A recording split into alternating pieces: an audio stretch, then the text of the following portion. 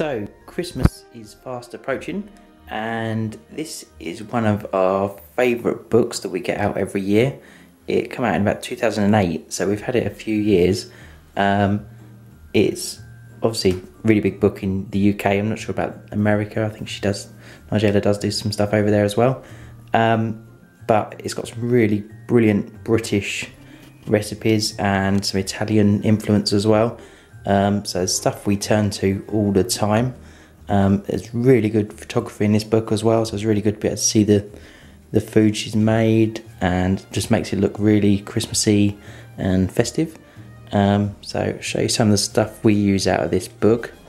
So a really good sort of treat from this book is Christmas Rocky Road.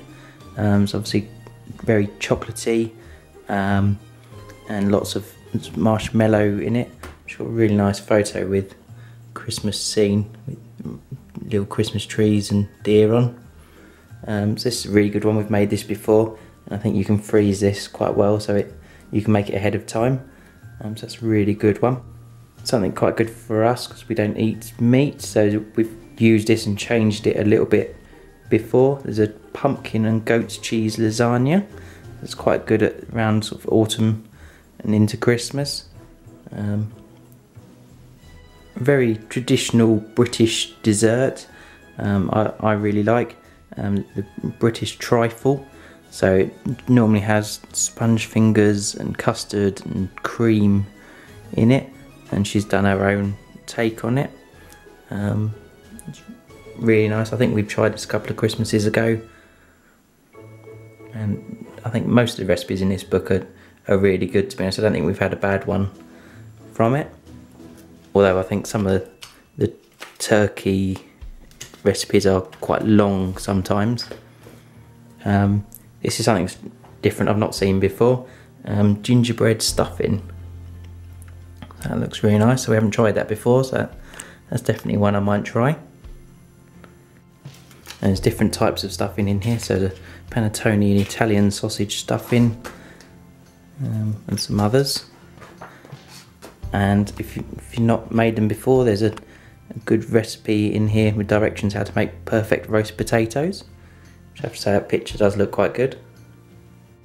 Um, a recipe we actually get from a, a, a hand family handed down one but there's a I think this recipe is actually quite good as well. It's the ultimate Christmas pudding and it goes into quite quite a lot of detail. So it's, it's really good. Um, it's three pages on it and there's even some vegetarian options in here. So she's got a roast stuffed pumpkin with gingery tomato sauce. That looks quite nice.